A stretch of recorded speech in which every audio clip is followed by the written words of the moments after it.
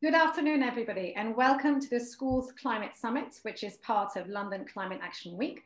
My name is Malini Mehra, and I am one of the co-chairs of the London Climate Action Week Education Group, and delighted to welcome you to this session, our curriculum session, um, which we will begin with a short introduction by Patrick Moriarty, the head teacher of JCoSS, which is one of our lighthouse schools, the lighthouse schools for the faith school sector.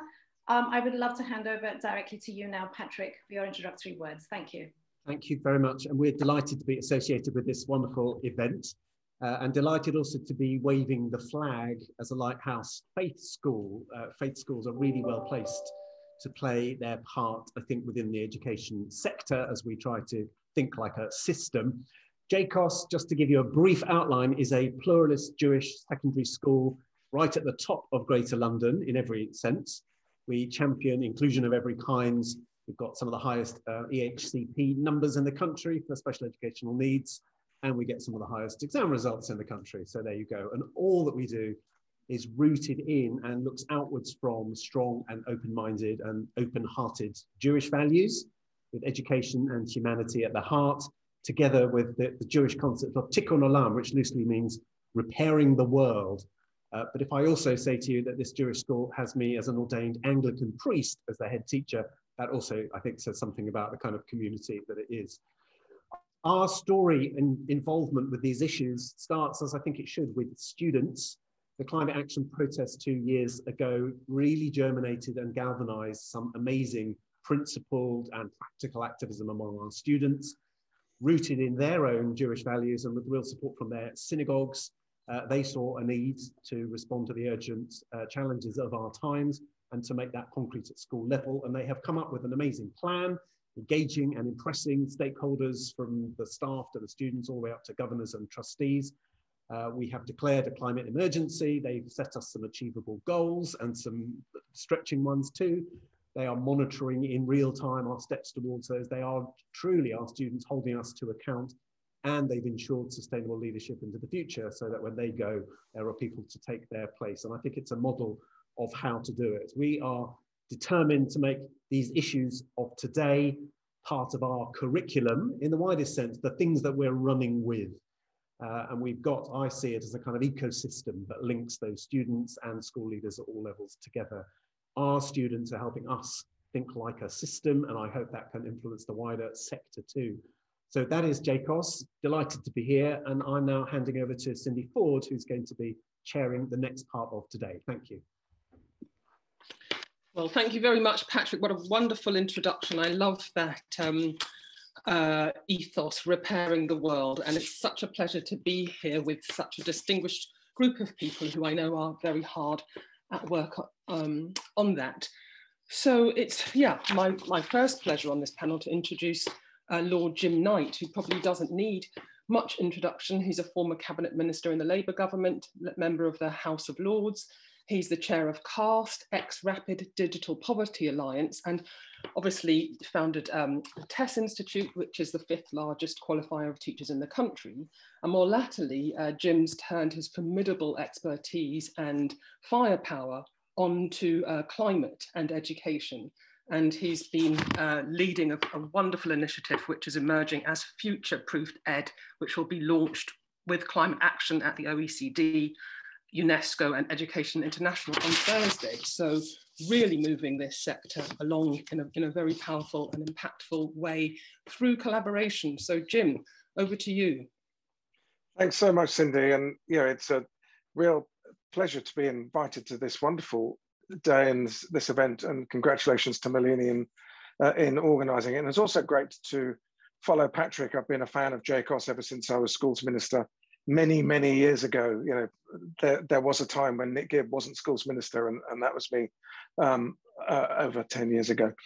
Um, what I wanted to just take a, a, few minutes to talk about is, is in a way, my journey to becoming passionate and, and interested and excited and wanting to do something about this agenda. You know, I was at last August, um, as is my wont, I was holidaying up in Orkney at the very other end of the country, um, surrounded by big Atlantic seas and huge skies and the most beautiful and extraordinary uh, environment, rich in biodiversity, um, thanks in part to the enduring traditional agriculture that um, pervades in, in Orkney. And uh, got a call from an old friend, Scott, who said to me, look, I don't know what you're doing, but um, I'm running the climate change lab at Purpose, which is a, um, a B Corp uh, based out of New York. He was sat in his apartment in Brooklyn and he said, uh, We're really keen to do something with teachers in the run up to COP next year. Um, could you give us a hand? And yeah, as a politician, uh, I hadn't done enough, in my view, on the issue of climate change. You know, when I was a minister at DEFRA in 2005, I'd done a little bit. Um, you know, I'd put a biodiversity duty uh, on all public bodies in uh, the uh, in, a, in a bill that I took through Parliament in that job. But my sense was there was more to be done. I'd done bits and bobs in schools, obviously, you know, when I had three years responsibility for them, but there's sort of lingering sense that there was more to be done and there was an urgency. So I was receptive. But I also then had a sense of, yeah, why is this important? Why should I put this first?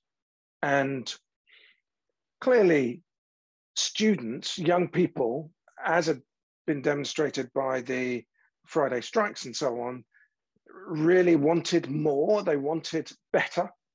And Teach the Future tell us that 68% of students want to learn more about the environment. They also incidentally tell us that 70% of teachers don't feel sufficiently trained to teach climate change properly.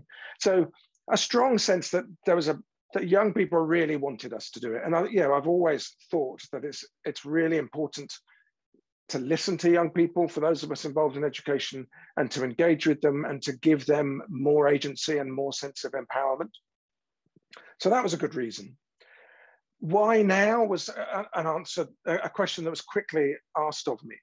And, and that was in the context of the pandemic, really. You know, with everything else that was going on in the world with COVID and the way it was impacting on everyone, but you know, teachers having to go to heroic efforts in order to be able to just get the job done and to keep some kind of learning going and to keep schools safe. And you know eh, too often learning coming far too you know way down the agenda because they're having to worry about biosecurity and testing and you know dealing with mountains of guidance that the department are throwing at them all the time. And head teachers really stressed how are we going to interrupt them with something else? But my sense again thinking about young people was they are, are very conscious that they're living through a health crisis that is translating into an economic crisis. And talk of a climate crisis is dangerous for them if it's yet another thing that they have no control and no impact on. And the opportunity, it felt to me, was if we get this right, is to use climate as a way of showing them that their actions do have an impact and their actions can aggregate together and really affect change in a positive way. And that change can is something that you can have agency over, that you can put your arms around and really make a difference um, if if we get this right. So, and and one thing I also know from the work the OECD and others have done is that when we're thinking about the competencies that young people need, and you know OECD have done a great piece of work on the competency review for 2030, then agency and giving youth empowerment is a really critical part of any kind of future education system that we want to be able to create. So this was an opportunity.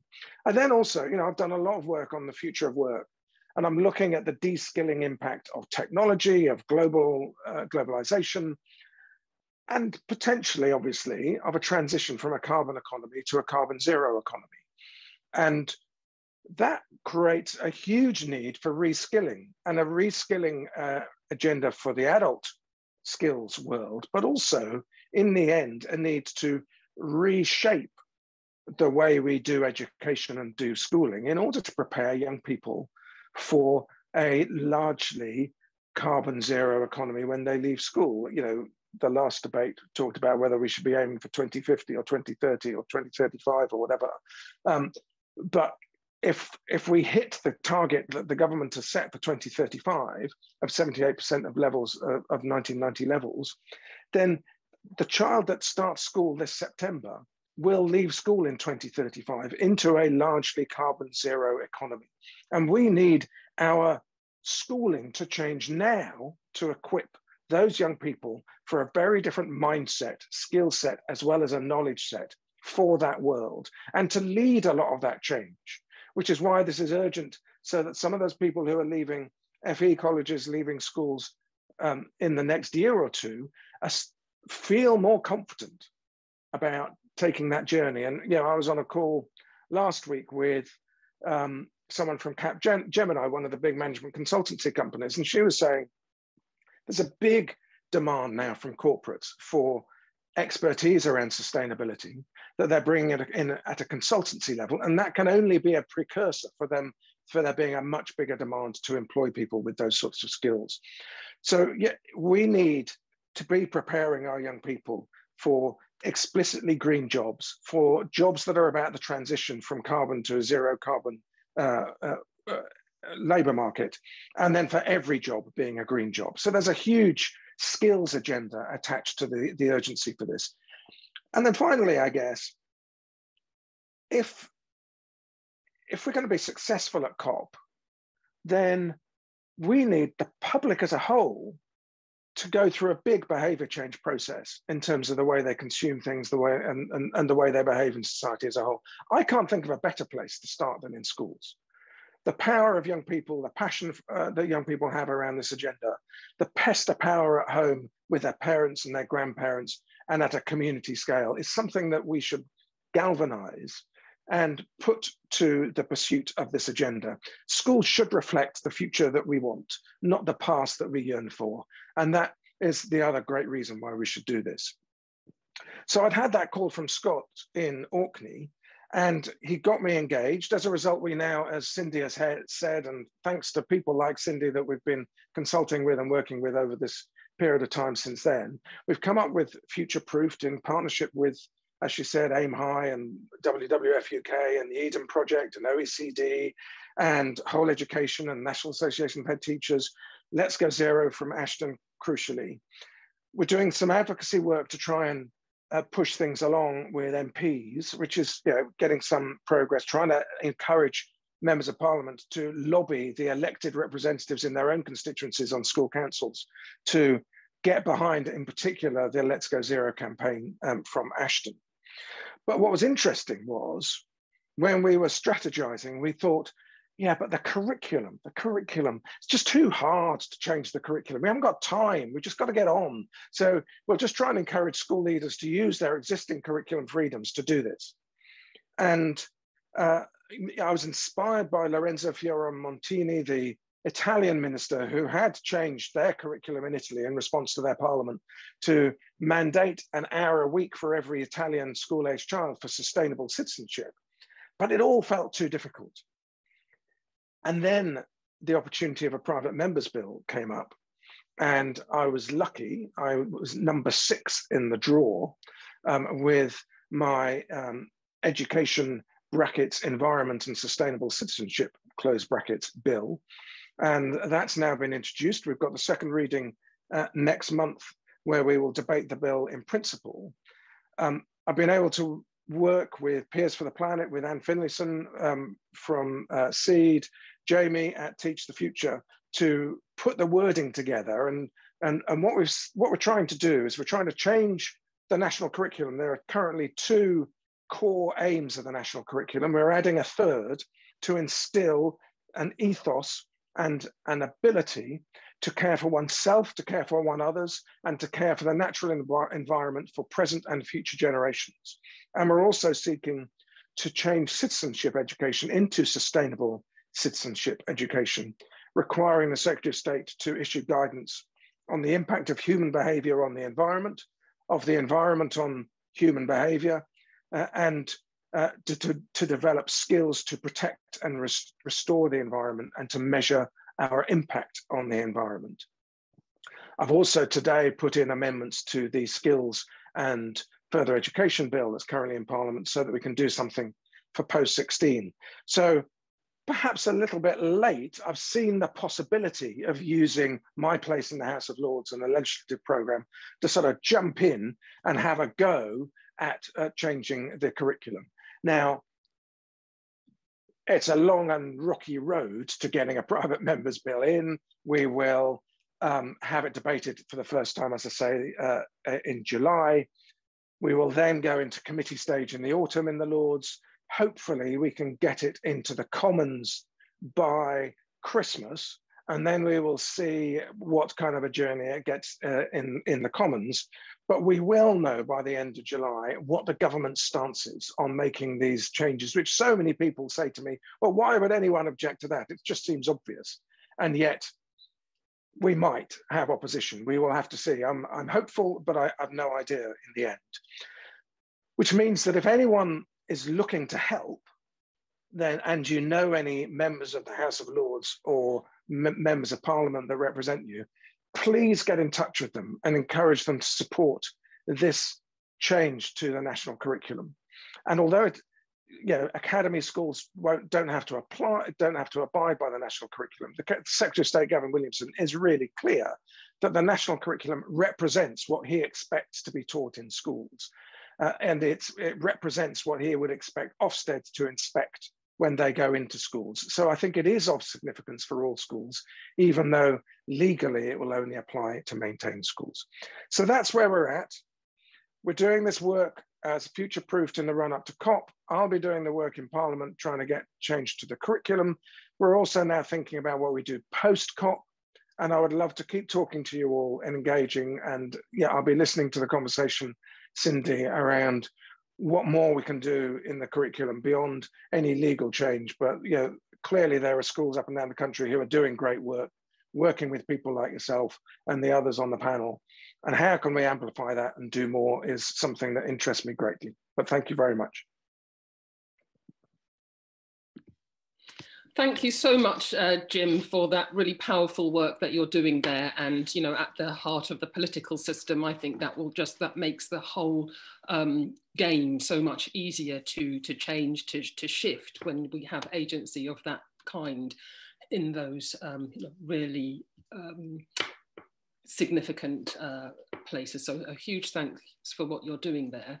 Um, now, I, my great pleasure to introduce Steve Brace, uh, you're working um, from a different place. Uh, Steve is the head of education and outdoor learning at the Royal Geographical Society. And the, the, this role, in Steve's role, he provides support for teachers uh, from the local uh, and the doable. So whether it's something that you're working on in your local ecosystem, moorlands, peats, uh, peat moorlands or coasts, or whether you're taking teachers far away into the rainforest. Um, Steve is finding ways for teachers to bring this in to the, the core lives of, of, of people at school, inspired by a very passionate and enthusiastic geography teacher himself. That's what's led him onto this, um, this path. And he's been working with the Royal Geographical Society, since 2002. So I'm sure you've got a huge insight for us, Steve, on what is possible in this space, what you've observed in the past and what you see coming up for us in the future. Thanks, Cindy, and also delighted to be joining people today. Um, I feel I should be speaking from a, a sort of uh, a moorland peat bog or a rainforest rather than bunking up in, my, in one of my, my now left home son's bedroom. But I'm just going to share my screen. I've got a couple of slides just to share with colleagues. And hopefully, um, if I make this full screen, it will. Um, can people see the slides just to check on the other side? Yeah, there's thumbs up. That's great. And also delighted to uh, to follow Lord Jim Knight as well. And I'll say a few words about some of our, our previous links. So I'm Steve Brace. I'm head of education learning at the Royal Geographical Society. Geography is my thing. You've got a passionate geographer for the next 10 minutes um, or so. And I've just got three or four slides just to illustrate some of the key themes. And this echoes much of what Jim was saying, actually, of there's important opportunities in the curriculum. I'll be talking about geography. And of course, it's not just about the curriculum, it's about the wider work of the school within a, a broader community and, and the broader setup as well. So um, there's lots of links people can follow up rgs.org schools is probably the most useful one. And you can follow us um, on Twitter and also follow me and my work at Steve Bracejog as well. So just a few words about geography, first of all. When I'm asked what's geography, I always say, well, it's about people, human geography. It's about environment, the physical processes that change our natural world. It's about places, because what geographers do is bring the spatial context to the interaction between people in the environment, whether it's small scale, neighborhood, town, region, country, or the global scale. It's the interaction of those three that makes things uniquely geographical and the connections between the physical world and the human world. And I think we provide, from a geographical point of view, yes, other subjects make important contributions too. In connecting both across the physical sciences and the social sciences, geography brings this important dimension to the curriculum. It's useful just to also mention who's studying geography. Um, and I do want to say a particular thanks to, to Lord Jim Knight for his work in education almost probably 15 years ago when he was involved with the Society in funding the action plan for geography that set the foundations for some of the really positive change that's happened over the last 15 years. We now have just short of 270,000 youngsters studying geography. These are in English schools. There's probably about another five to 10,000 studying geography in Wales and Northern Ireland. That's gone up by almost 100,000 entries over the last 15 years, which is really heartening to see in terms of young people choosing geography as one of their GCSE options. We have about 32,000 or so A-level students. We had a 16% rise this year. And we've seen growing numbers of young people going on to study geography at university as well. So from my point of view, in terms of the subject that provides an important contribution around climate change and sustainability, it's good to see the health of the subject in terms of the growing numbers of youngsters who are studying it. Um, GCSE, we've seen much greater diversity in terms of the range of students, those from low income backgrounds, those from lower prior attainment, Black, Asian, minority ethnic students taking geography, but we're not yet seeing that carrying through to A level and university. And it's an important piece of work as at the RGS and the wider geographical community are taking on in terms of diversifying the subject at A level and degree. So more young people from more different sorts of backgrounds can gain from studying geography. But when we asked the public, we did a couple of YouGov surveys um, about 18 months ago, one on GCSE, which this slide is showing, and one on A level. We asked the public, representative sample of the UK public, which GCSE or A level subjects do you think can really help teach about climate change? And as a geographer, I'm delighted to see geography come head and shoulders above every other subject. Next in line is biology, chemistry, physics, history, and so on. But I think there's an interesting lesson here. I do lots of work with the maths community because there's a big data element to geography. And one of the things I've been saying to maths colleagues, if only 6% of the British public think that maths has really any contribution to climate change, when you think of the computational knowledge, the modeling, the geographers who are working with mathematicians in this sector as well, it's an important lesson in terms of maths needing to demonstrate its relevance to this issue as well. So I'm delighted to see the public recognise geography, of course, but there's some important lessons for other contributors across the curriculum as well.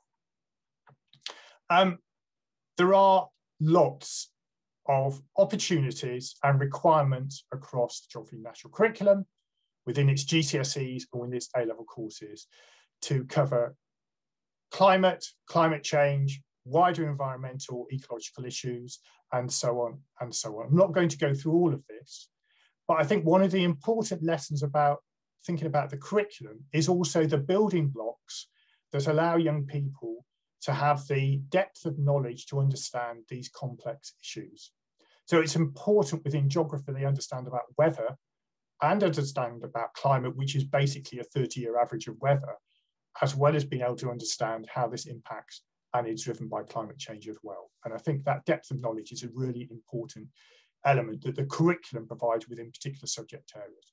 Yes, lots of other work should be taking place, but it's that sort of access to the sort of robust, authoritative knowledge you get within geography, within other subject areas relevant to this area of work that's really important. And just the last couple of slides, some considerations alongside this curriculum area. As I've said, it's not just the curriculum. There is real work in the real world that needs to take place. And here I think geography plays another important role. Uh, you can see a little uh, picture of students on a field studies council course looking like they're in a car park, but actually what they're doing is measuring the, the carbon capacity of trees in their local area. If you measure at a certain height, the, the uh, circumference of a tree, you know what sort of type it is, you can then determine how much carbon is being sequestrated in your local woods. And this is commonplace now within many geography field works. There's also, and Jim referred to this, the green economy is going to be huge. And as we can see from figures from back in 2018, there's an estimated 42 billion worth of, of value in there. And I'm not sure yet, and I don't mean this as a criticism for very, very busy teachers, but I'm not sure yet the opportunities within the green economy have yet been fully connected with careers education, both within subject areas, when youngsters go, where can geography lead me? And within careers education more broadly, whether you're studying STEM subjects, other arts, humanities subjects as well. And I'm always thinking back to my time as a geography teacher out in West London when a year nine pupil called Anthony, one never forgets them, asked me, well, said to me, there's no point doing geography because I want to, I don't want to be a geography teacher like you, sir. Um, thank you, Anthony. But I think the important lesson in this is most children think that the key job you can do by studying studying a particular subject is often become a teacher noble calling though it is, and we need that broader connection with the wider green economy, whether in geography and other subject areas. And we're doing lots of work at the Society through, our, through a series of career profiles called I'm a Geographer, which is highlighting the work of people who've studied geography in a whole range of careers. And we have Isabella, who works for the Royal Town Planning Institute doing work around renewable energy. And if you Google that, you can find all that sorts of stuff on our website. I think there's also more work. We've just undertaken a big piece of research with 500 young people around this about young people's views on the role of geography to their further study and careers. Uh, sorry, their views on the environment to their subject choices and further careers. And we'll be releasing some data on this later in the year. I, am afraid I haven't got a teaser on this, but we we get the feeling there's some interesting findings in it. And then finally, just to finish, lots of opportunity to get involved with the society. Every Wednesday, we're running our Be Climate Smart tiles, where we highlight a particular element of climate change and wider environmental themes. Very much hope people might be sharing these and contributing their own. And I'll just leave you with, with this quote from Michael Palin, so Michael Palin, uh, former president of the society, to echo something Jim was saying. What does geography do? It illuminates the past, explains the present, and prepares us for the future. It's really important work we do collectively in schools, and what could be more important with that? So I'll finish there. Thank you, folks. I'll stop sharing. Thank you so much, uh, Steve. It's just wonderful to see how you're using your subject to break down the silos and to really make clear the interconnections between all the subjects and the role that they have to play in being part of the solutions that we're looking for, as well as taking children out of the school context and, and building these links with the real world. I think that's fascinating. And I also think you've highlighted a really important lever there, which Malini has picked up in the in the chat. Um, that this link, the opportunity that the green jobs present, that Jim has, is so powerfully uh, working with, and the lack of link that that that there is with that in the schools. I think that will become that's that's a, I think it's a it's a problem at the moment, but it's a huge opportunity to, um, to, to, make this much more relevant to young people. So thanks, a huge thanks to you. And now what a delight to introduce Ann Finlayson. Ann, I don't know if you can um, put your video on. Uh, Ann is an absolute powerhouse in this space. We had uh, Jonathan Porritt opening the uh, uh, conference uh, in one of the opening addresses this morning who spoke uh, to the work or the importance of the work that you have been doing and you have done uh, with the UK Sustainable Development Commission and uh, joined WWF UK in 2000 and became its head of education and then went on to become the education commissioner and capability builder for the UK Sustainable Development Commission which I'm sure you're going to speak to us a little bit about that, Ann, so I'll, I'll park that one there. But undaunted Ann has gone on to create Seed in 2009, which is probably you know one of the most um, earliest established and most broadly connected um, organizations that to, to, to enable schools to engage with this agenda. So Ann's been doing incredibly powerful work and delighted that you're going to tell us more about it, Ann. Thank you so much. Thank you, Cindy. It's so nice to see you again, and Jim, um, and others. It's like a massive reunion. Um, anyway, um, I have been asked to talk about a holistic approach to a curriculum for education for sustainable de development. And turns out I do know how to talk about this. Um, I did have a slight worry, but I do. Um, and the first point I really want to make is that um, the national curriculum is not statutory, um, although Ofsted do inspect for it. Um, but one of the big things that you know we have discovered over the years is that schools often say um, we can't do this because we have no mandate to do it. And so getting this into the Education Act is a massive step forward and really delighted to be helping Bill, Bill, Jim, Jim on his bill. I knew I was going to do that um, at Seed, but also with Our Shared World, which is this massive coalition. And Jim, we are lined up 130 organizations to support you um, in any way that we can. And we've got them all geared up, ready to go. Um, so a holistic approach to a, a curriculum for ESD. If we get this mandate, great. So what do we do then as educators? How do we do it? How do we create that holistic approach? I'm going to be a bit controversial here. This is not about the pupils. This is about schools and it's about teachers. And it's about change. And it's not about behavior change of the students, but change in our practice. And I'm saying our because I don't just mean educators in schools, but I mean educators who support schools. And as Steve said, and, and Jim has outlined, there is loads of evidence to say that young people, you know, get this stuff. They, they know about it. They know it's a massive issue. It's an existential crisis. Um, but two things I think are really important to note. Firstly, the OECD had a fantastic um, uh, report called Green at 15, which is really worth looking at. And what it basically shows in the countries that they looked at was that those countries that had scored very highly, apart from Finland, of course, which is always the exception, um, very highly in the PISA scores, had the lowest levels of student sense of agency around making a difference for a sustainable world. Singapore was 20% of students felt they had some agency. Oh, that's appalling.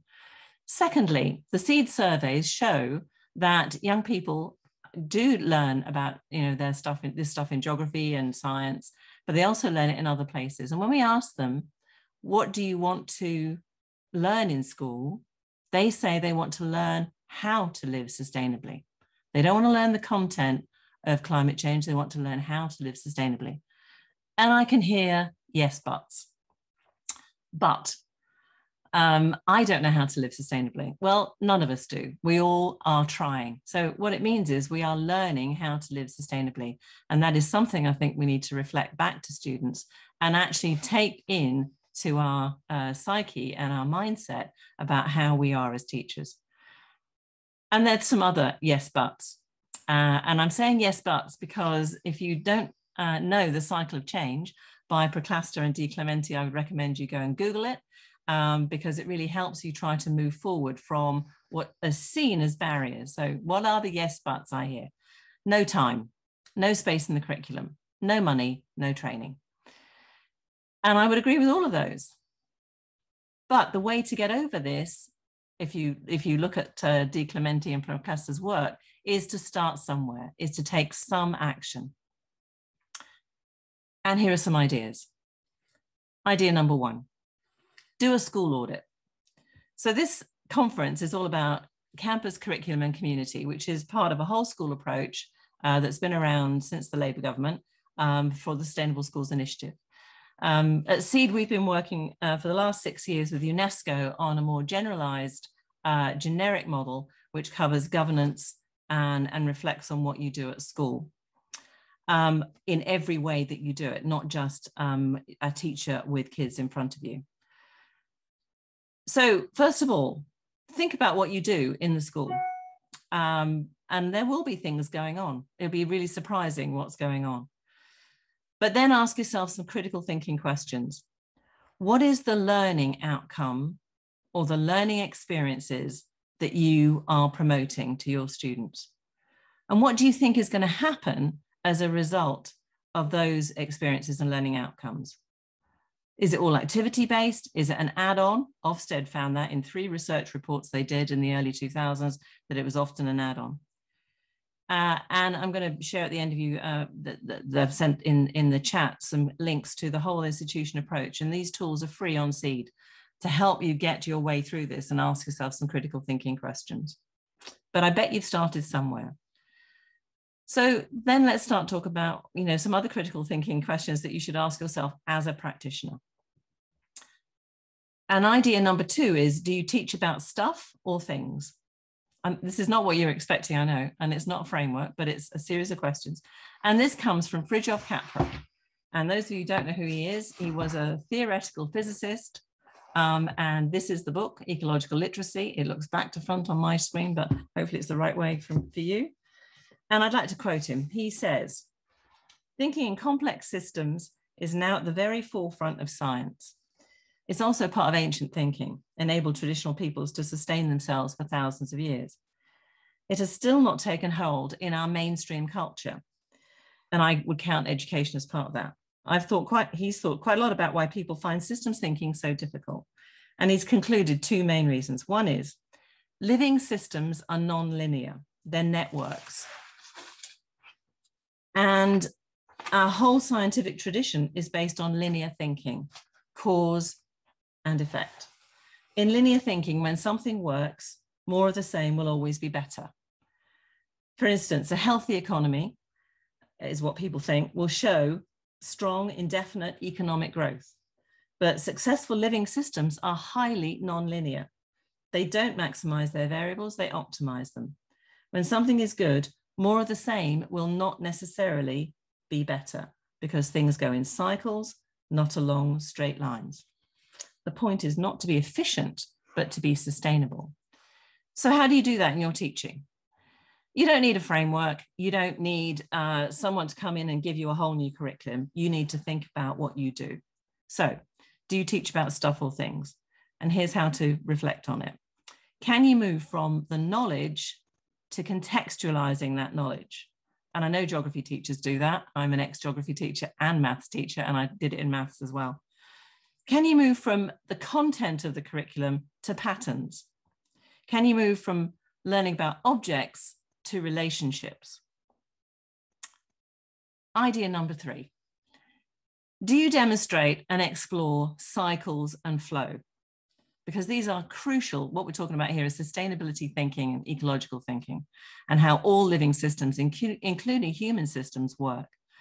Energy flows, matter flows, money flows, material flows, people flow, information flows.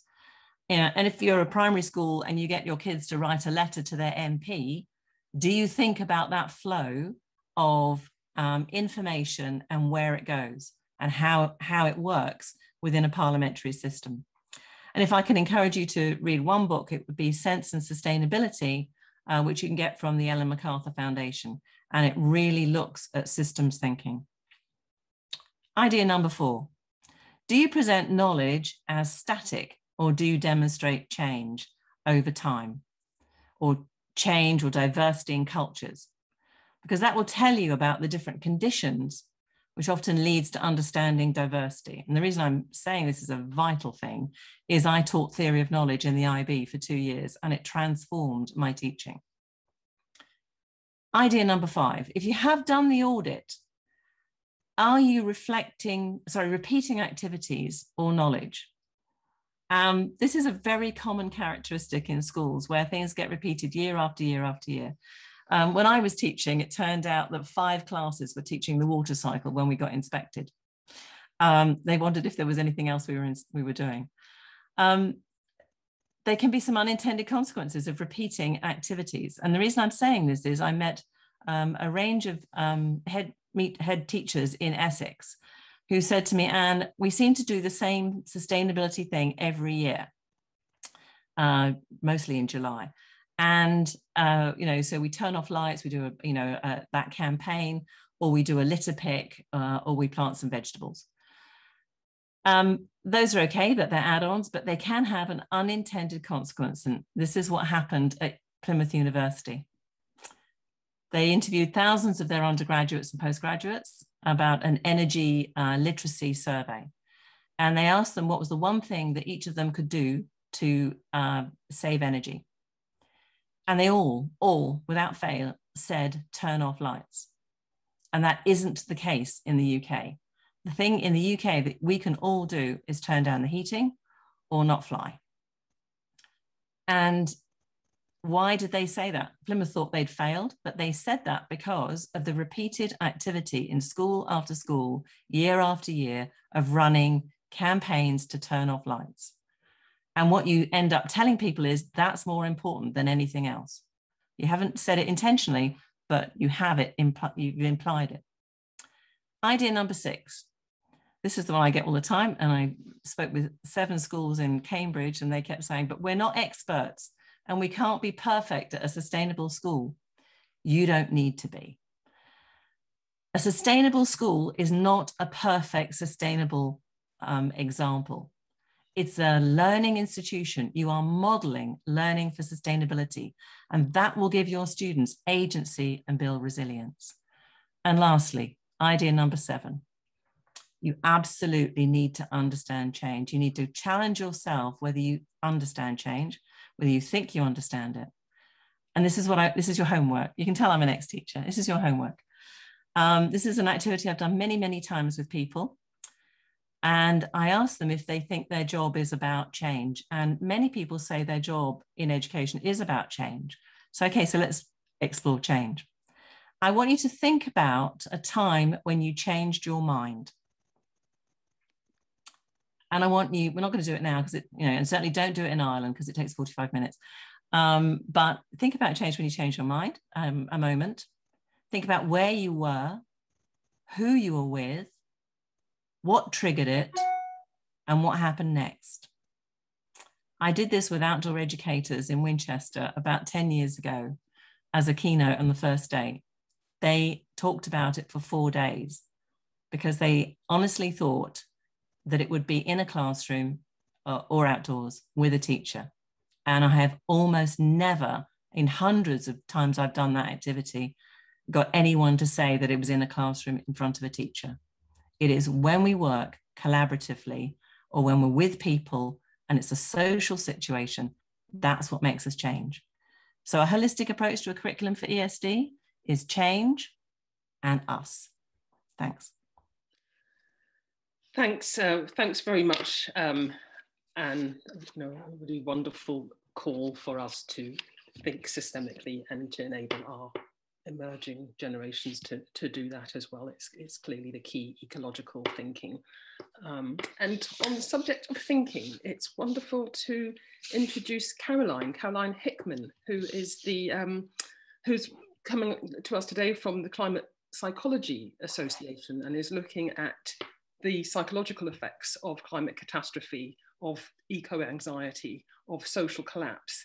Um, Caroline is a teaching fellow and she has a background in social work. She's currently a PhD candidate in education at the University of Bath with a particular focus on researching children's relationship with nature and feelings about climate change. So really fantastic to have you with us, Caroline, and to hear from this dimension of how we can shift how we how we teach. Thank you. Thank you so much for inviting me. I'm going to try and share my screen for a moment. Let's see if we can get this to work.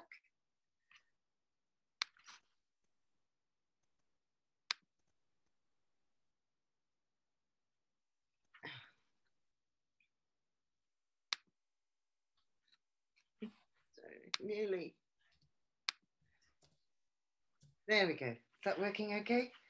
You got the, can you see it okay? Excellent, right.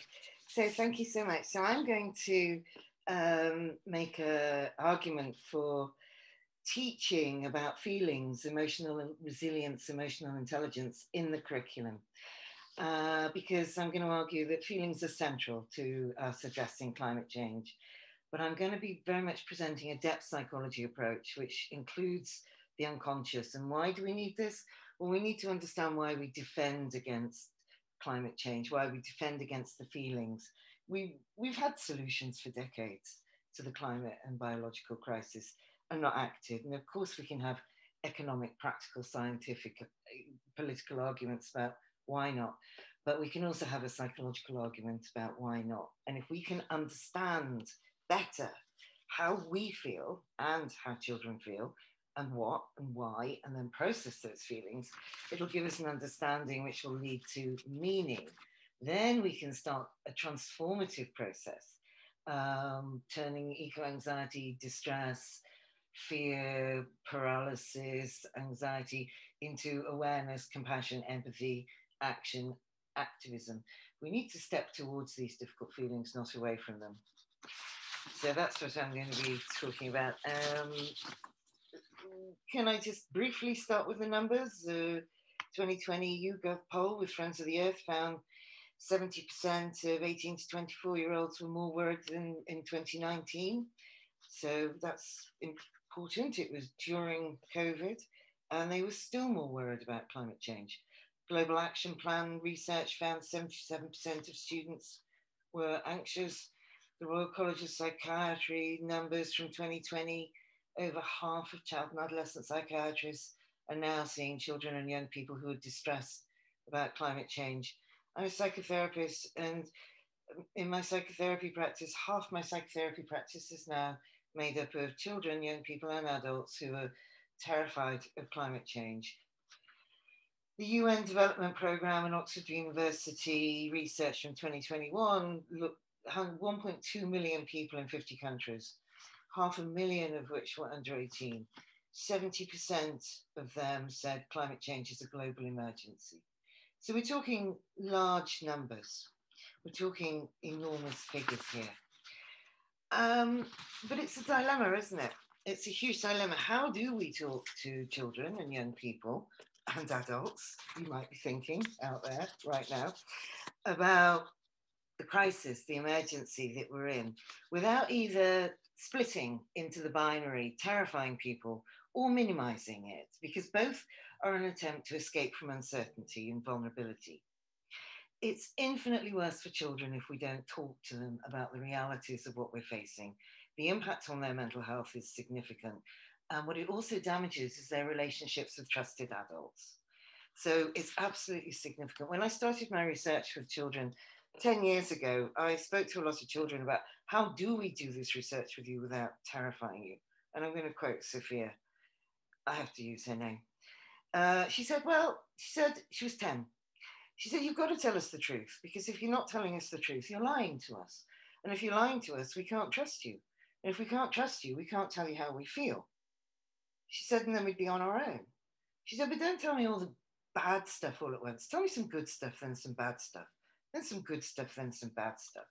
She said, anyway, she said, I'm not a baby. I love this child. I wish she was running the world. Children are often very aware. They're online. They are connected. They're talking to each other.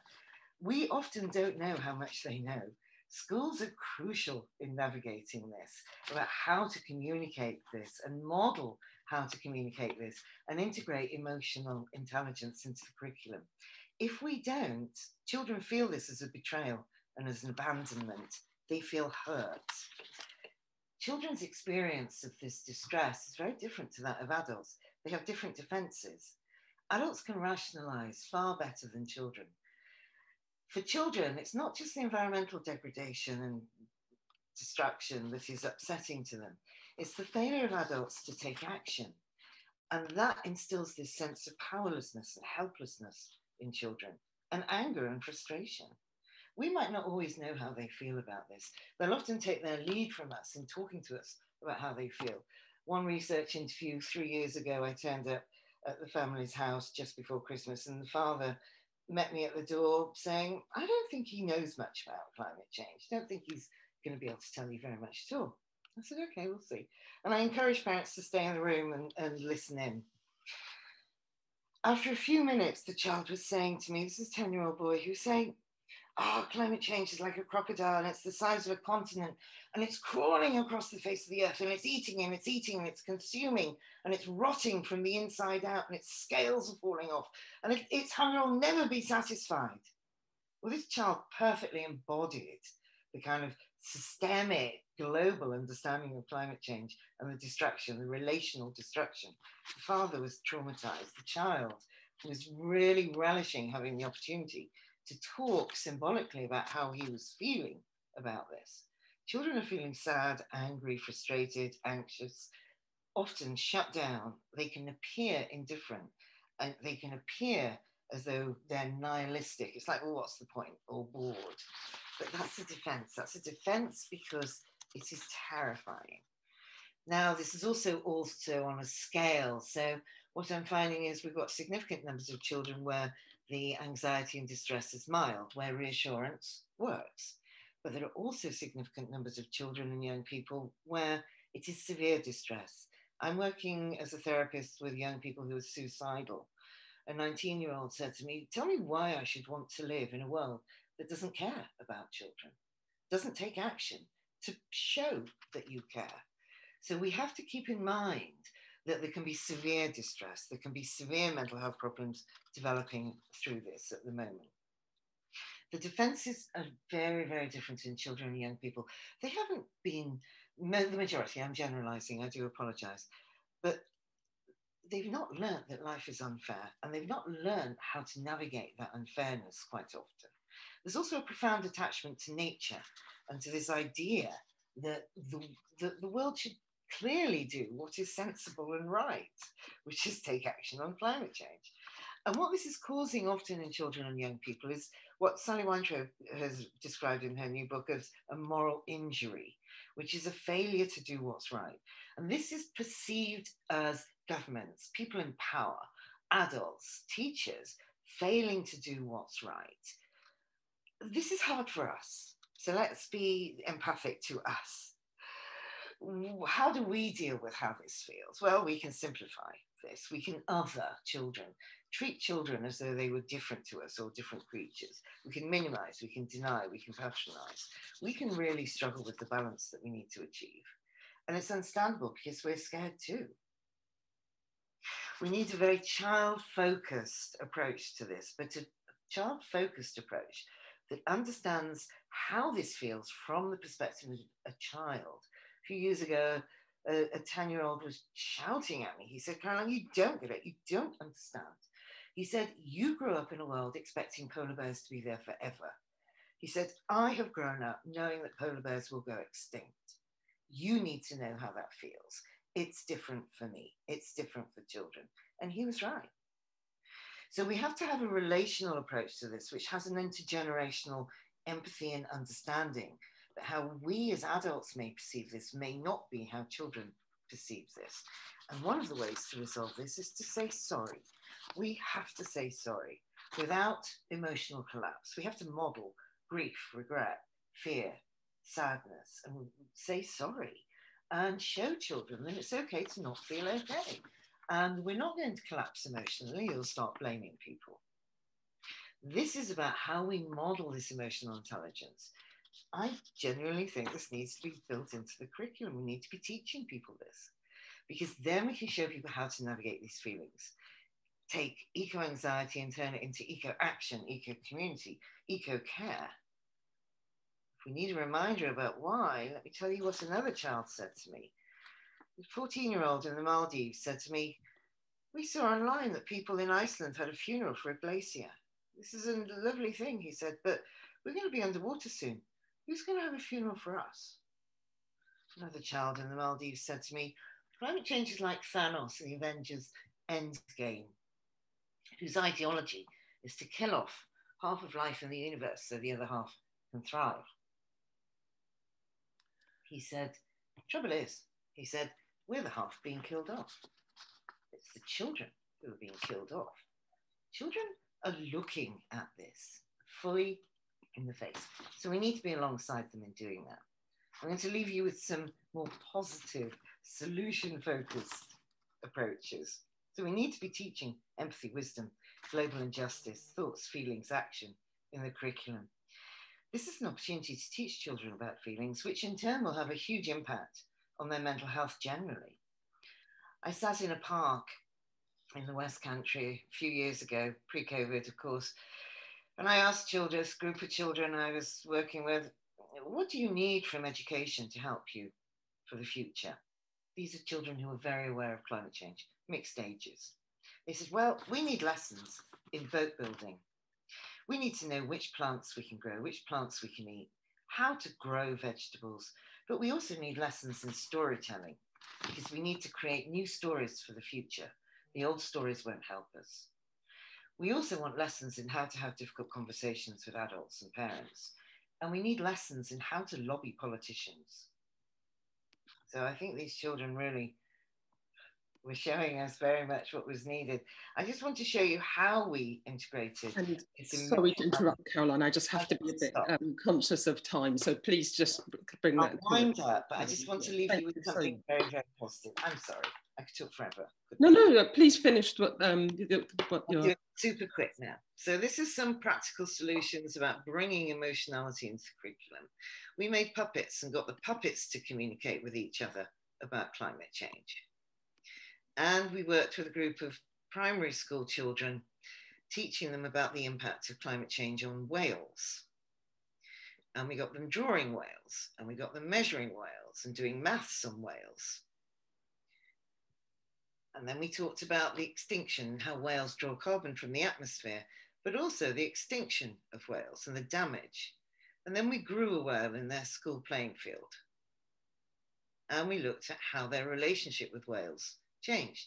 We planted two and a half thousand crocus bulbs in the shape of a baby humpback whale on their playing field. And from this, we were able to teach children about extinction, annihilation, fear, trauma, terror.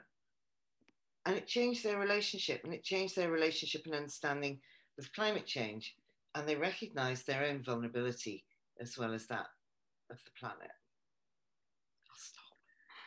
Thanks so much, uh, Caroline. I can't imagine the emotional energy that it must take to hold that sense of paralysis that you speak about, uh, that, that children have, and, and as you say, that the moral injury that they, they, that, that, they, that they're suffering. So I hope that your work will be a major thread of what everybody here is doing so that, that we can actually be equip children and equip ourselves to, to tell the truth and behave in a way that makes that uh, something that we can actually hold and, and, and cope with. So thank you very much for, for, for the work that you do. And um, now it's with great pleasure that I introduce Bea, Bea Harrison. Um, Bea's a 16 year old climate activist and she's um, based in South London. She's part of the team at Teach the Future who are doing astonishing work. I don't need to, to, to, tell anybody here about the power of Teach the Future. Uh, Bea started activism in school, initi initiating a climate council for the school and worked on brilliant projects like Brand New You, which actually is a weekly exposure on major brands and unethical practices, which is a superb way of, of reaching um, young people and also provided alternatives to, it's not, it's not just you can't have, but you can have something much, much, much better instead. And so um, Bea believes that it is key for school to act as support systems for enabling students to realise their potential and become change makers on the local, regional and even global scale. And here you are, Bea, proving that with support that is utterly possible. So thank you very, very much for joining. Thank you so much for that introduction. So Hi, um, I'm Bea. I'm 16 and I've just finished my GCSEs. And as said previously, I'm based in Southeast London in Greenwich. And I'm talking to you today on behalf of an organisation called Teach the Future. But before I get into that, I would like to quickly provide some context on how I got involved in the youth climate activism movement. I've always been somewhat environmentally conscious, and from a very early age, I can remember thinking, gosh, that sounds like something we need to find a solution for. Whenever the despairing WWF adverts for polar bears appeared on TV, depicting ridiculously fluffy and all the more saddening cubs flailing about on whatever in whatever was left of their little frozen ha habitat. However, as I grew older, I began to feel more and more what can only be described as anxious when it came to the climate crisis. This climate anxiety and guilt spiraled into a full blown eating disorder, refusing to eat anything to compensate for the emissions of everyone else's food. It was logical and irrational, I know, but it was the only way that I, for some reason at that point, felt I could make a difference. One of the only ways I persuaded myself to recover was the fact that my dad threatened to sit outside the, Maud the Maudsley Inpatient Centre, idling in his car until I was discharged. I will never forget that sense of helplessness. And I'm now on a mission to emphasize the point that, that the climate crisis is also much, sorry, it's also a social and a mental health crisis. This session's objective is on curricular reform in relation to the latest science and understanding child psychology. With this in mind, a survey by the environmental charity Global Action Plan revealed one in three teachers are seeing high levels of climate anxiety in students. While just over three quarters of students say that thinking about climate change makes them anxious. So please, this is one of my first messages, understand this.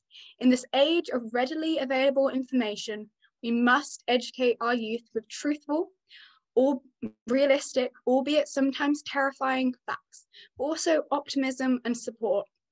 There may be a fine line between optimism, optimism and naivety, but educators have a duty of care to prepare students for their future.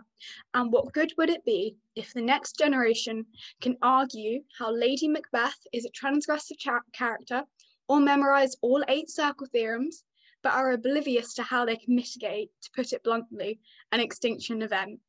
Conveying the urgency of this issue can be empowering if relayed responsibly. As a result, youth will be confident and able to drive for change, but not everyone has to be the next Greta Thunberg. I started off just establishing Climate Council at my secondary school before I began wider reaching work. The climate movement is for everyone in every sense. Everyone can contribute to collective change and everyone will reap those benefits. Therefore, Teach the Future was first established in 2019 and is a youth-led UK-wide organisation made up of 100 volunteers. However, I joined in November of 2020 and we campaign for climate action, education and justice in the political realm, as well as supporting grassroots community projects we have three main asks. One, to teach students about climate change. As simple as this may sound, we discovered as a result of a research project that we funded that only 4% of students feel that they have been taught sufficiently about climate education, and 70% of teachers feel unable to accurately teach climate education. This needs to change. If we are to achieve the societal lifestyle shift required, and people must understand how they can contribute to the solution on an individual level and be empowered to rally against institutional obstinacy. Education is the only way to close the knowledge gap between our actions and our consequences. Two, include green skills in many vocational courses. The UK needs a workforce able to bring us net zero emissions and make world leaders in sustainable technologies. Therefore, vocational courses need to include the green skills required to achieve this. And three, make educational buildings climate friendly. Our educational buildings play an essential role in how and what we learn. By retrofitting them to net zero emissions by 2030, we can, we can create green jobs across the country and inspire students to live sustainably. We have calculated the cost of retrofitting all England educational buildings to be £23 billion. However, in the most recent up update of the Skills and Jobs White Paper, only £1.5 billion was proposed to be spent on improving further educational buildings, with no mention of carbon neutrality or sustainable building principles in all 80 pages. Overarching this, we have a policy we like to call the golden thread the idea that climate education must be implemented to a sufficient degree in every single subject and not just siloed into geography and the sciences. Because not everyone wants to be a climate scientist, and yet the climate crisis will affect every single one of us. Moreover, as a GCSE geography student, you would be proud of me, Steve, um, I can say that from experience, that the force feeding of seemingly endless statistics isn't always the most effective approach to learning. Whilst the numbers can provide context, discovering and exploring localized personal stories in other subjects, such as English, drama, photography, and dance, can improve the previously mentioned human aspect of the climate crisis to light. Just imagine, it's the last period on a Friday, it's incredibly hot and stuffy in this classroom, the scent of sweaty post-PE year seven still lingers in the air, and of course the air conditioning is broken. Now, if these students would just recounted a list of numbers depicting the 52% decline in biodiversity or the fact that in December 2020, global emissions were 2% higher than that of December 2019. Do you think they would care? Maybe, but if instead they learnt the story of Ella Kissi-Debrah, whose, dead was ruled, whose death was ruled to be as a result of her severe asthma exacerbated by illegally high pollution levels in South London, that would hit home. That would stir emotions and ignite a desire, ignite a desire for change. Many world leaders speak of a green economy, but how will the next generation of workers support this ideal if they are not equipped with an appropriate understanding of how their sector contributes to the solution? If it doesn't, and if it doesn't, how those consequences will affect them. So you might be thinking, what are we doing about it? Well, unlike some policymakers, Teach the Future doesn't just talk the talk, but walk the walk. Uh, in early 2020, we held a political reception at the Houses of Parliament, to which over 50 MPs attended, and where we stated our case the need of climate education reform. And earlier this year, we submitted our draft English Edu Climate Education Act, the first ever education, education act to be written by youth. It argues that preparing our generation and those to follow with the necessary knowledge and understanding of the climate emergency and socio-ecological crisis and ensuring that we have the skills and resilience to adapt is fundamental and should be as important as numeracy and literacy. One of our major upcoming projects is an English education review. We have contacted the Department of Education 18 times asking for a review of what is being done, but more importantly, what needs to be done in climate education. However, every time we have been ignored or given an insufficient answer. So we are now receiving grants um, by organizations such as the Rita Howard Foundation to fund our own English education review that hopefully we will start sometime later this year. If you'd like to see more of what we've done in our campaign, such as our coordinated week of action, um, then please visit our website or follow us on Twitter, Instagram, and Facebook. Those details will hopefully be posted in the chat shortly. And finally, how can you help? One thing to do is check out our petition to ask the government to implement broad climate education on our website and join the over 25,000 others who have signed this. You can also easily ask your elected representatives if they support climate education using our pre-filled form. And thank you very much for listening. And I can't wait to see if I can answer any questions later on. Thanks so much, Bea. That was a, a wonderful um, presentation of what you, you do. And thanks also for sharing your own quite well, very harrowing story, really, but that it's, it's, it's so inspiring that you've turned it into something, something that is so distressing into something so positive. And I, I love the clarity with which what you have you know what you've asked for truthfulness realism it is terrifying but with optimism and support we can make that into something that, that leads to um, building change. So I, I, really appreciate that and some wonderful comments coming through for Rachel Musson at Thoughtbox about how vital the work that Teach the Future is doing and that that clarity around triple well-being emotional environmental and social well-being which you've articulated um, so well. Um, well, to close the session, it's my great pleasure to introduce um, Cath Prisk.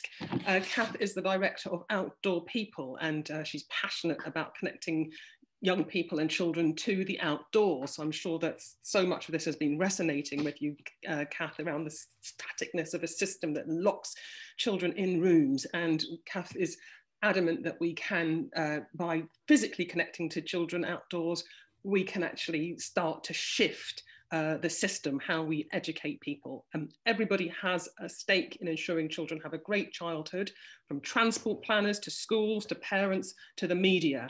And Cath is a consultant. She works through her own social and enterprise as a board member of the Wild Networks. All of this focusing on making that connection between getting outdoors and shifting how we think about nature, how we think about our world, and how we think about our curriculum. So delighted to um, to have you with us, Cath. Thank you, Cindy. Um, can I just check? Can you hear me? Okay. Is that yes, we can. Thumbs yeah. up. Yes, good. Because I'm using a different microphone because um, I'm I'm here in Bath and looking out at some lovely green spaces um, out this window, and it's been great to hear all of you so passionate about what we need to teach children. And I'm going to talk about stopping teaching them and instead enabling them to experience the outdoors. Um, can I just check? Can you can you see that? Can somebody say, tell me verbally you can see see my screen? We yes, can. we can see your screen, uh, Cath. It looks brilliant. Excellent. Climate change stealth, then. So, how do we make sure that children actually give a hoot, that they want to protect the planet? How do we make sure that children have the, the wherewithal and the, the, the skills within themselves to cope with constant change? How do we ensure that they can feel safe and grounded and like they're coming from a position of strength? How do we make sure they feel trusted in this beautiful, amazing, magical universe that we live in? Bring back play. Play in school, play in their lives, play in their community. I'm here, so as, as, as, as was introduced, I'm, I'm Cath Prisk. I'm from Outdoor People. Um, we are a social enterprise. We're based in Hackney in East London. We work worldwide, um, supporting this mission idea that children just should be reconnected outdoors. And we build community within um, spaces and places, within schools, within families, around the ideas that going outdoors is simply as important as a good night's sleep, as good quality food, in lots of ways more important than a core education. You can survive without knowing Pythagoras' theorem. I'm not sure we can survive so well if you don't know the smell of petrichor, that scent that you get when it's been raining. Um, I'm currently doing a, a, project with Nature for All, um, one of the world's, it's, it's a global campaign supporting um, everybody to connect to nature, sponsored by the IUCN. They did a big piece of research a few years ago, um, a literature review, and consistently, evidence after evidence, literature review after literature, a piece of academic research after academic research shows that there are two things that children need to develop a love, understanding, care for the environment. They need plenty of time outside, plenty of time regularly in the same place outdoors, and they need role models, positive role models. They don't need to be taught, they need to be heard.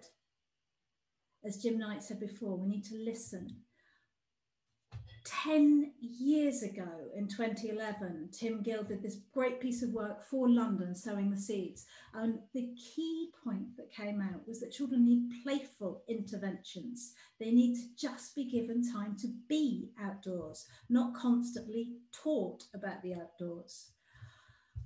So we pulled together as part of the London National Park City that we became um, a couple of years ago. We want London to be greener, healthier, wilder, um, so myself and a number of others that work with schools across the capital built uh, the London National Park City Schools Network.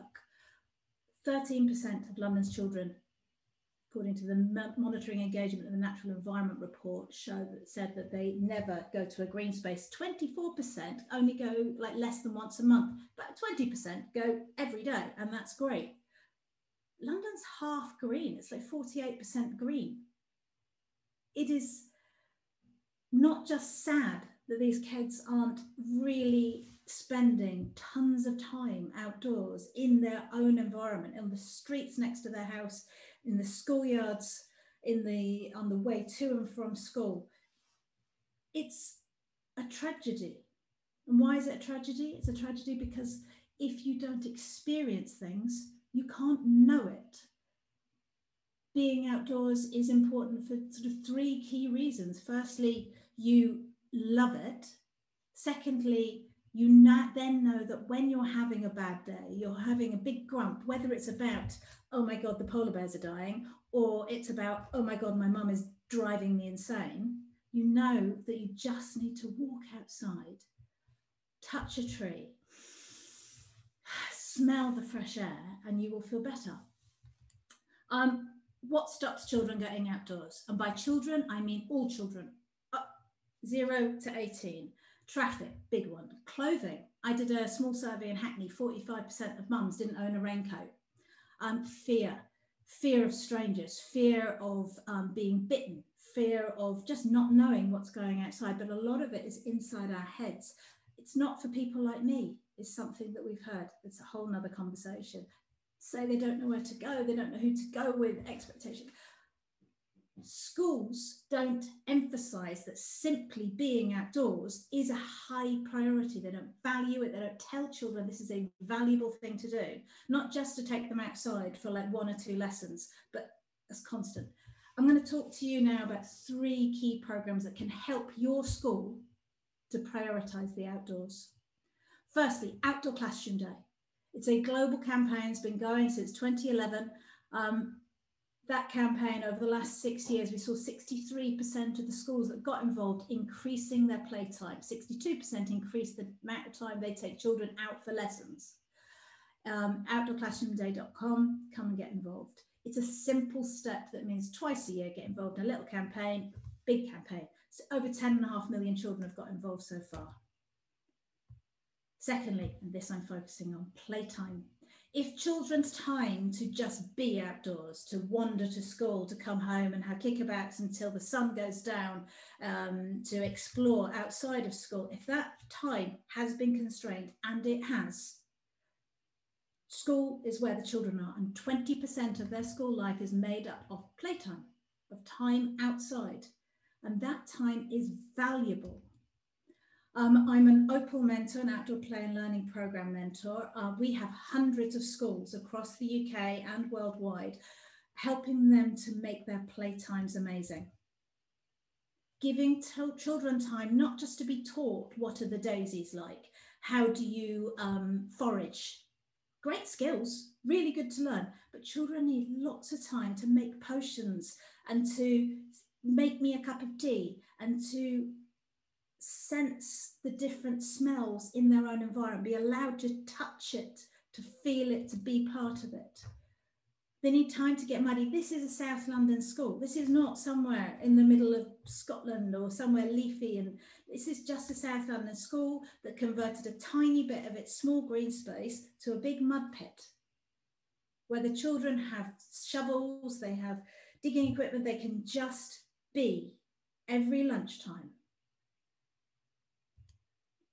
where they can just create and touch and smell, and they can either do it on their own. If they're feeling stressed, they can really help the gut. If they just want to pretend to garden, they can do that. Of course, they can do some gardening as well. They can get involved in all sorts of other things. They can spend time actually making stuff. They have fires.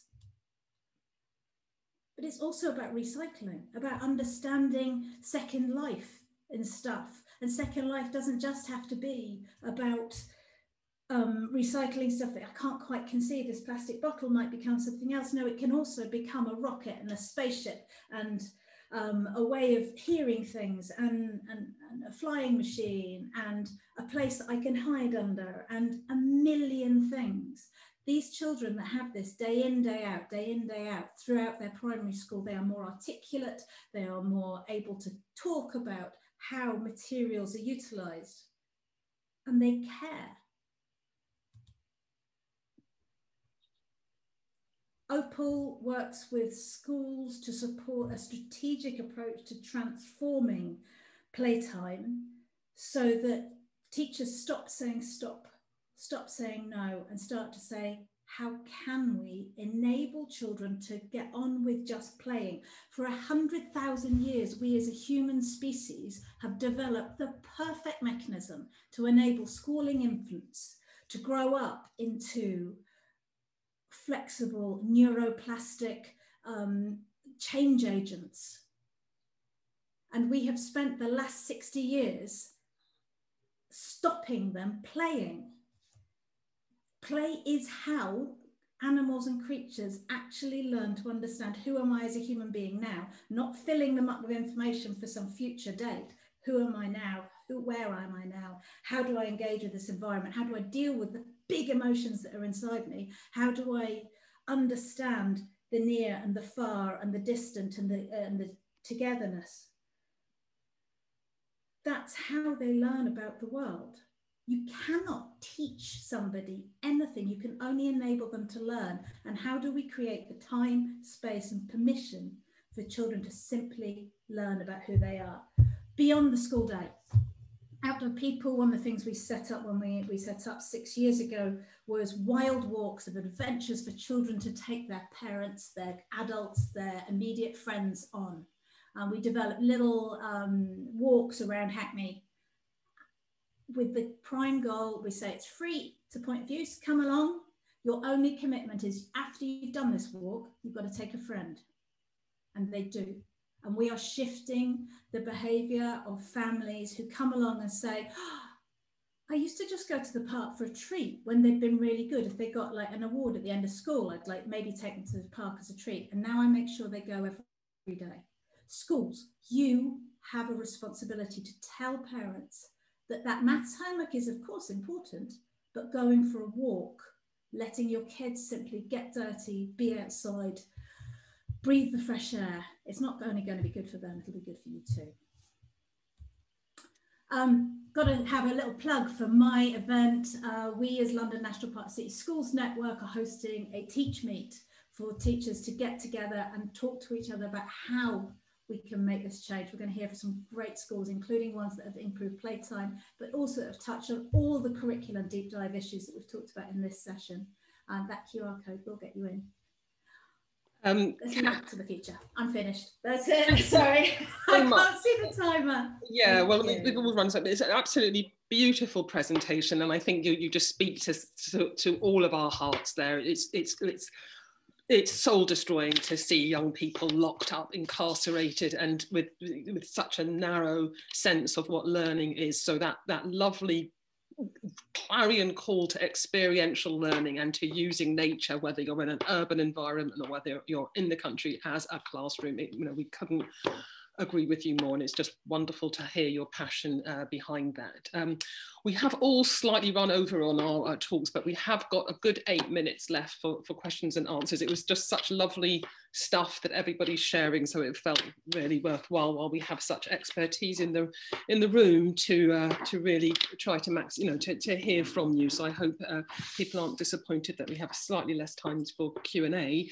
Um, uh, it's uh, we, we have some questions in in the chat. We have some wonderful um, things in the in the in the thread. Uh, I invite any of the participants know to keep those coming through. I'm going to start with a, a question from the wonderful Jess Tipton, who will be uh, speaking later. Um, do we think that there's scope for a recognised secondary sustainability qualification assessed in various ways, with a focus both on knowledge and skills that has a wide uptake and would be accessible to any student in the UK and around the world? Now, I'll throw that out to the panel. Is there anybody who would like to to go first on that one. I actually, I'm going to, to Bea, I'm going to ask you to go first on that one. What do you think of a recognised qualification in sustainability? I, I agree that to some extent it would be good to provide an incentive because I know many students my age, they, they, they're thinking about university and think, oh, what can I put on my CV and things like that.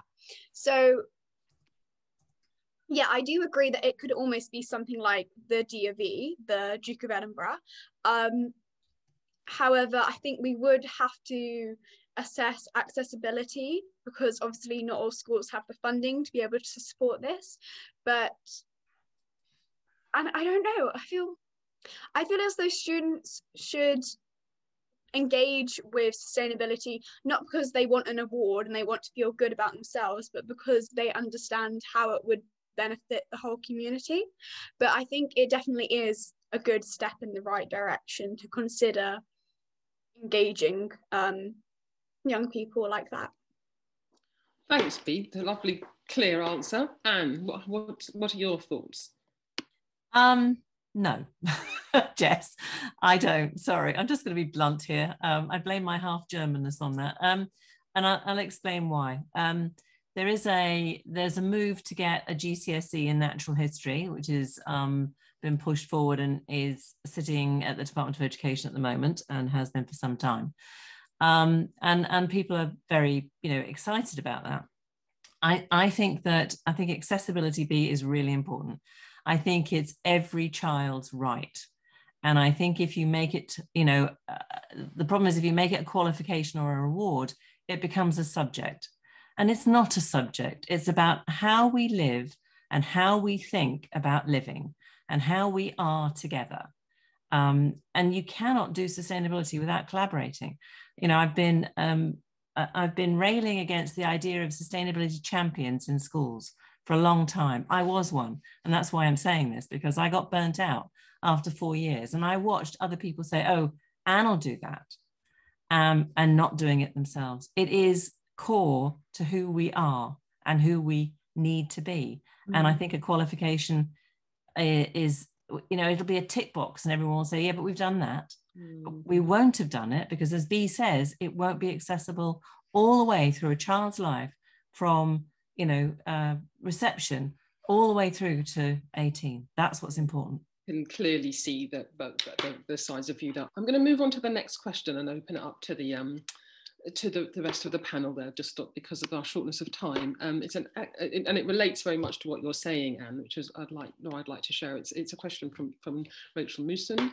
What advice would you give a lone wolf teacher or student who is feeling alone in their awareness of the work that needs to happen in schools and are not necessarily supported in their school? So, you know, very much from what you were just saying there about the, the burnout that happens when you're carrying this torch on your own perhaps, oh, Cath, and, and I'm sure Caroline, you'll have something wonderful to say about this as well. So.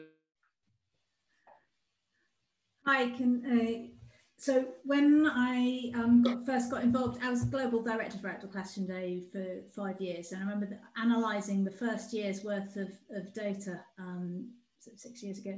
And there was you know, thousands and thousands of teachers had written down um, what kind of school are you? We asked the, this question like this as, as, you were signing up to the campaign. What kind of school are you? Mm. And I did have head teachers saying, lonely. Mm. And that's so it's the three pieces of advice. It's firstly, you're not alone. You may be alone within your immediate school community, but within the global community that we can all be part of, you're not alone. So reach out and connect, get involved in things like Outdoor Classroom Day, but also in groups like um, you know, LEAF, London Education Environment Forum, like London National Park City Schools. Like get reach out to connections elsewhere. Secondly, is like start doing something small within your school, and then reach out to the parents. There will be parents out there. There will be children there who want to start we found with Outdoor Classroom Day, a lot of people got involved just the nursery, and then it'd be nursery and, key stage one. And then it's the whole school. It's people see the positive effects, they can like keep changing and also work on your governors. Because if your governor, if you get a governor who really champions it, you'll get to change the whole system. Thanks so much, uh, Cath. I think, you know, and even being in rooms like this, I hope makes people feel less alone. Caroline, would you like to um, to comment on that? I will. Um, I'm going to comment on the first question briefly and then the second one. Um, the University of Bath has got me teaching this climate psychology material to chemical engineering students now. So what we're trying to do at Bath is integrate it throughout the curriculum. So I really want us to be seeing how we can be teaching uh, climate change, sustainability, climate psychology in every single class uh, and not separating them out at all. And the second one, actually, it's already been brilliantly answered. It's about community and it's about coming together to share thoughts and ideas, but also how we feel about this. And we've had a lot of talk today, uh, really interesting about whether this is an object or it's a subject, but it's also, you know, we're, we're human beings involved in this ourselves. So, you know, in Climate Psychology Alliance, we've been running sort of support groups and climate cafes and workshops for teachers and parents and young people. And I put the link to the resources. There's some amazing work being done, Join communities. And if there isn't a community, create a new one. And if you can't do that on your own, ask us and we'll help you. Oh, thanks. Thank you so much. Those are really beautiful questions. We are at time um, now. I'm so sorry. I feel that it would be lovely to continue the conversation all day. Um, I think it is an ongoing conversation between all of us actually, and it's just so wonderful to, you know, with huge thanks to Malini for making this happen because it weaves the web together of the people who are, you know, who are working in this field and together we're all exponentially uh, stronger. So I think it, it's so powerful to see everybody today and I hope it addresses those feelings of of being of, of, of feeling alone or isolated quite clearly uh, we are not so um, I'll just we've, we've lost a couple of members of our panel but just a, a final word um, for each from from each of you to to to, to for people to take forward I, I can only give you you know, two words each, but it'd be lovely to have that inspiration. Cath. Go outside and play. Wonderful. Caroline. I'm going to echo that. Use play to learn to talk about difficult things. Ann. I was asked this once by um, the head of a government department, and he said, "What's the, what's the answer to sustainability?" And I said, persistence. Wonderful. He hated it. He hated the answer. I think it's wonderful, and you embody that. I know you'll just never give up. Don't give up, no, that's true. Bea, quite last word from Bea. I'm going to kind of echo Ann and just say shout louder because one day they'll have to listen. Absolutely wonderful. Huge thanks to you all and a huge thanks to Malini as well once more for making this possible. Thank you. Thank you very much, Cindy. Thank you very much for such fantastic sharing and for the incredible words of empathy and wisdom, insight and action. Um, we're going to continue the communities theme because we are in charge of the conversations that we create, not somebody else. So I'm just delighted that we were able to convene this session, which nominally is on curriculum, but communities has come out because as Ann said at the very beginning, it is about change and us. So thank you very much. I'm going to close this session now and invite you to come back at 1.45 to join us for the community session. Thank you all once again.